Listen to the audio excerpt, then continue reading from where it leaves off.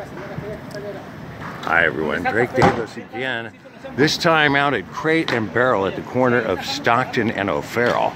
A lot of people out today taking a look at the damages for themselves, their smartphones and their cameras. Uh, I, you know, I walked through here going up to Pacific Heights and different neighborhoods that I research, learning about San Francisco as much as I can before I start working again.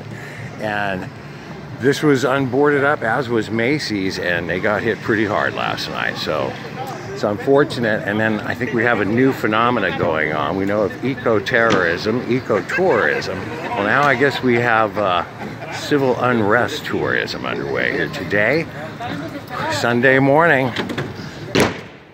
in San Francisco. I'm Drake Davis.